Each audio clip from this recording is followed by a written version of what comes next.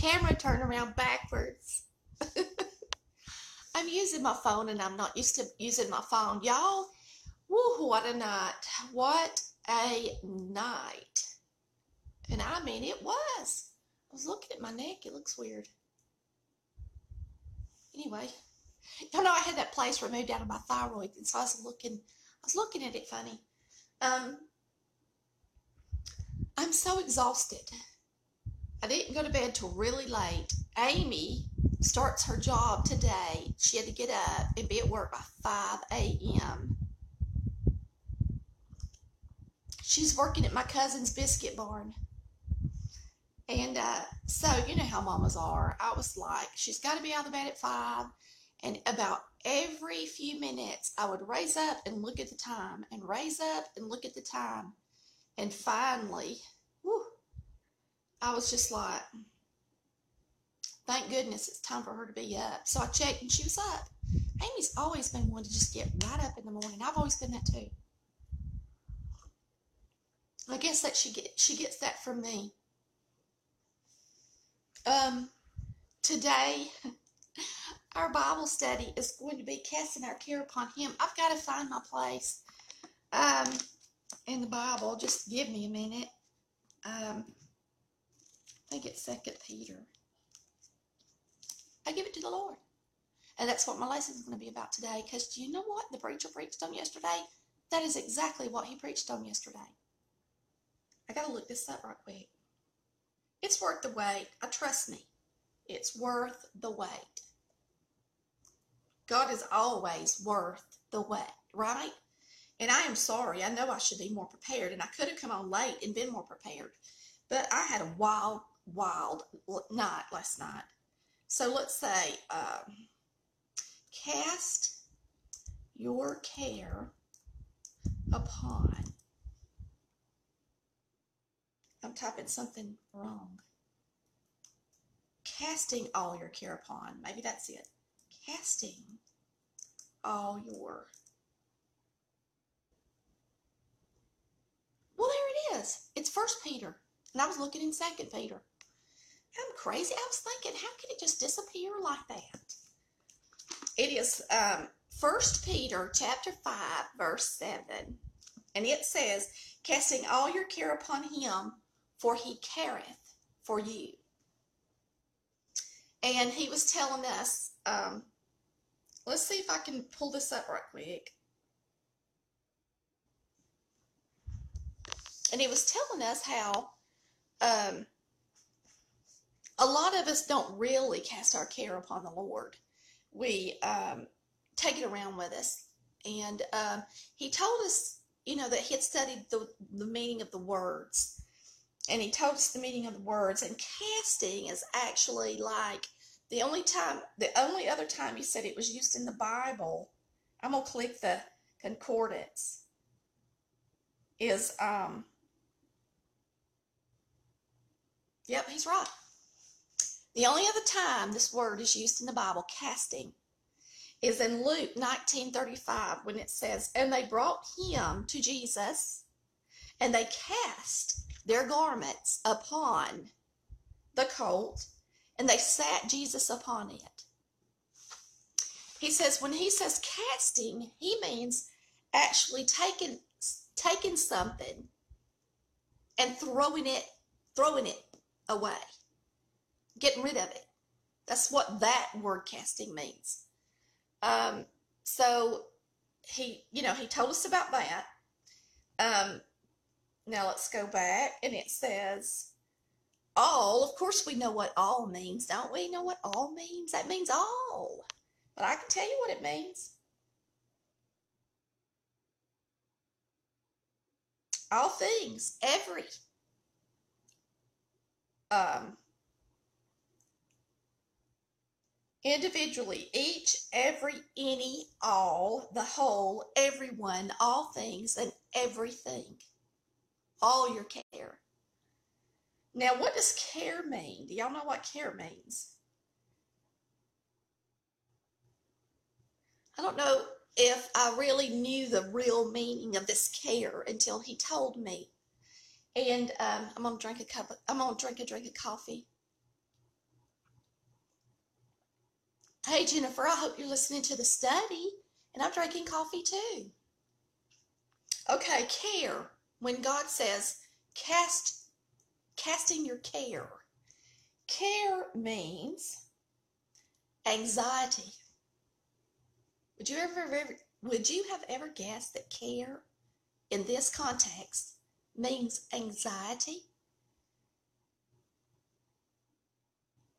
It says a distraction, um,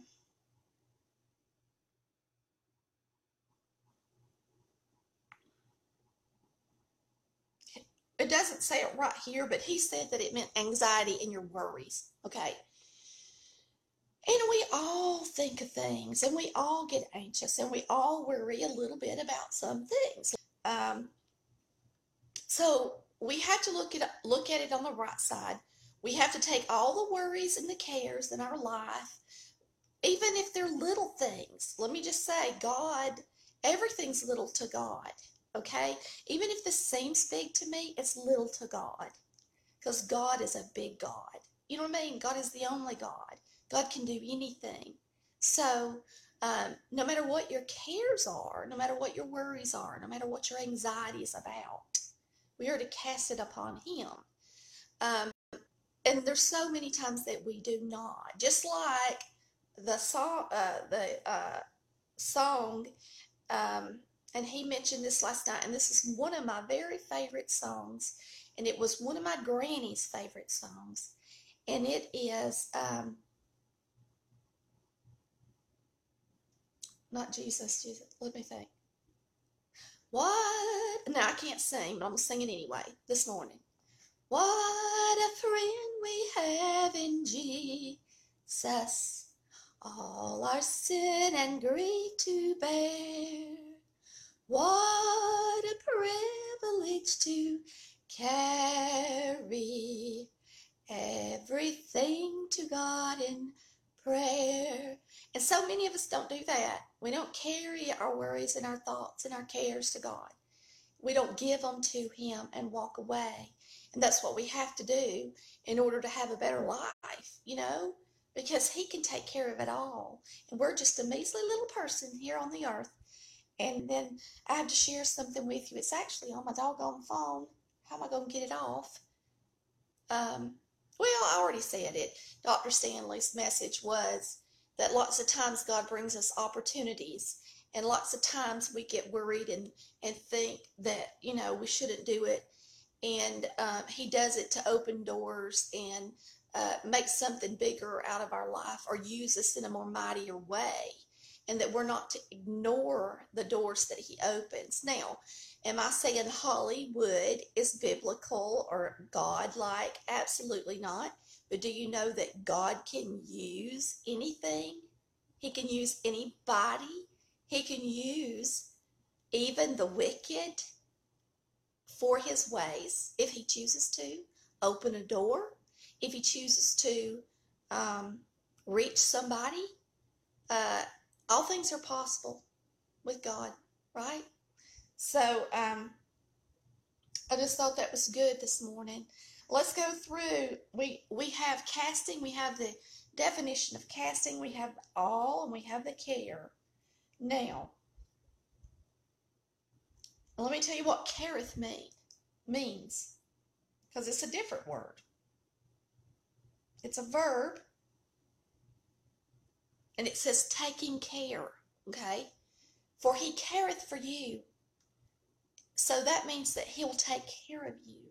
Now, ETH on the end of the word means he t- it's it's like a present, uh, a past in a future tense. It means that He will care for us today, He cared for us yesterday, and He will care for us tomorrow. He will always care for us. Okay? So that just shows how alive He is, that He's not dead, right? Because He can careth for us. It says, casting all your cares upon Him, for He careth for you. Now, that care is a different meaning than the first one, okay? So, the first care was our anxiety and our worries And the second care is that He's going to take care of us. Okay? So um, let's let's do that today. I think we should um, we should give him everything. You know, give him all of our worries, all of our cares. So many of us don't do that. So many of us go through our lives and we carry our own burdens and we carry our own anxiety and we have a heavy load or we got a lot on our plate. And we don't even ever think to, to we don't even ever think to say, God, you know what? That's a lot to do. How in the world am I going to do that? You know what? I'm just not even going to worry about it. I'm going to let you take care of that. Do you know that when I had cancer, when I had cancer, y'all, that was one of the most, um, the biggest times in my life that I could have been worried. And I had a very, very aggressive cancer and was a stage what they call 3C, which barely doesn't exist anymore um, for breast cancer. There's a stage, most of the time, there's an A and a B. And the only time you're stage C with breast cancer is if it's in over 10 lymph nodes.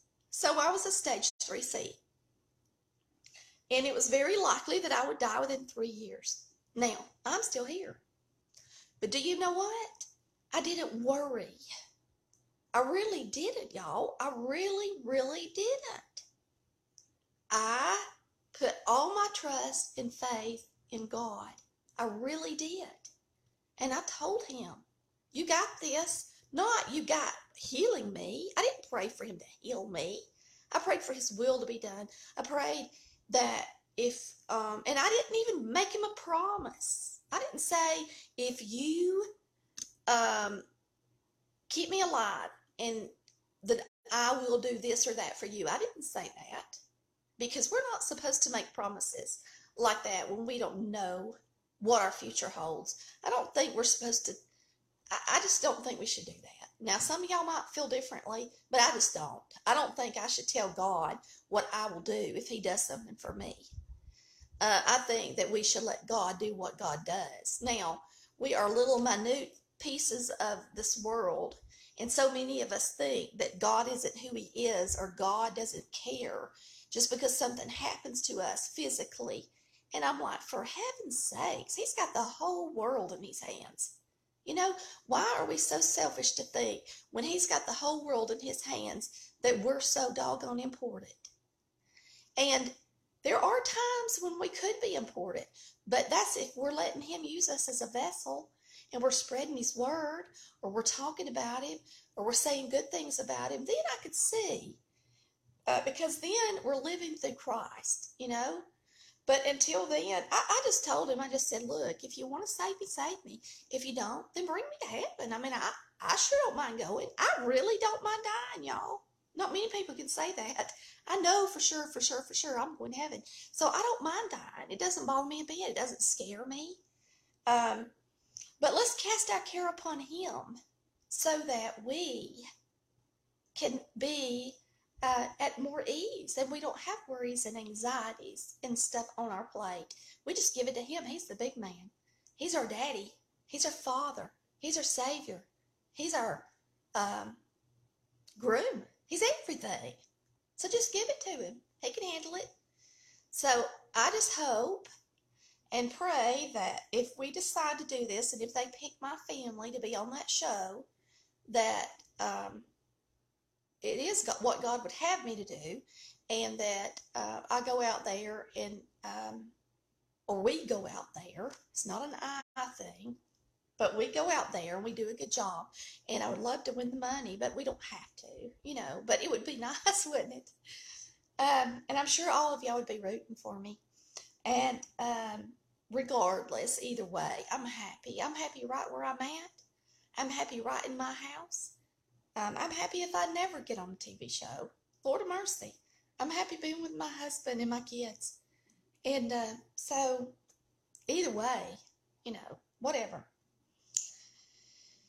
Uh, let's see if I want to say anything else about this verse. That use care, not the care of casting, I mean, um, the worry and anxiety care, but the care where God actually does care for us uh, like he wants to take care of us type of care. And some of them are when people use them, like I know y'all know this story. It says, but Martha, when Martha was, it was Martha and Mary. Remember the story? And and uh, Martha was the little busybody, and she was making sure everything was just right and cooking and make sure all the food was prepared for all the guys and Jesus. And she comes to Jesus and she says, uh, it says, but Martha was cumbered about much serving and came to him and said, Lord, dost thou not care that my sister hath left me to serve alone? Bid her therefore that she help me. That sounds like something I would say. It really does. I'm such a busybody. And it sounds like something I would say to Jesus when I wasn't paying him enough attention. And uh, now it doesn't have the rest of the story on here, but of course the Lord did not get on to Mary for sitting at his feet and listening to what he had to say, because what he had to say was more important than serving those men. Okay? He was serving them bread of life while Martha was serving them bread they ate. And Martha didn't even realize it. And the reason she didn't realize it, y'all, is because she didn't slow down long enough to realize who Jesus was in the in the messages he was bringing. She should have sat down right there next to Mary and listened, because those men would have got to eat eventually, right? Um, that's one place that that same word care is used. It says, uh, it's Mark four thirty three, and it says, and he was in the hinder part of the ship, and that's Jesus. And he was asleep on a pillow, and they awaked him and they say unto him, Master, carest not that we perish? He wanted to know, doesn't Jesus care that we're in this storm? Doesn't he care uh, the thing that he may, doesn't he care that we're about to die? He's just laying here sleeping on a pillow. Well, he's God. And he knew they weren't going to die. Um, but that's just the word careth. I mean, it's the way we would think what careth would mean. So, you know, before when I read, cast your all, all your care upon him, for he careth for you, I would think my cares, the things I cared about, like I care about my kids or I care about um, the things I actually care about. Of course, the things that we care about are uh, can be our, our most major worries, right? Um, but now think of that verse as cast all your anxiety, cast all of your uh, care, your worries upon the Lord, for he careth for you. Okay? Um, and then he also told us about the ETH. Remember that that is all the tenses, like the that's the present. It's it's the present. It's the it's the now. It's the yesterday, and it's the tomorrow. So remember when you see that on a word that it's all the time. One place where saveth is used. Okay, so it's God using it, it's a present and a past and a future tense, and it says, Then they cry unto the Lord in their trouble, and he saveth them out of their distress. So, what that says is that when we cry unto the Lord for our trouble, whether it, no matter when it is, because it's that tenth, tenth word, ETH, He will saveth us, save us. And He continues to save us from our trouble. It's not something He used to do or that He did yesterday. It's something that He does all the time. He cares for us all the time. And He'll save us from our trouble all the time. Not just sometimes, not just one time, but every time. Okay? If we ask, right? So um, I guess that's, let's see, I've been talking forever this morning. I've been talking 26 minutes. I guess I need to be quiet. But y'all, I just hope y'all have a good Monday. It is Monday, the starting of a new week. I hope that you help um, us and those producers may I hope that you pray that the Lord is in it and that the right decision is made um, for us as a family on whether or not we should go, and uh, and then that way I won't, you know, I'll just give it to God. If I go, I go, and if I don't, I don't. Right? Um, so let's say our prayers and thank Him so much for being the good God that He is, that He does care for us, that He would say all of our cares, all of our worry, all of our anxieties. Um, he could take care of them all.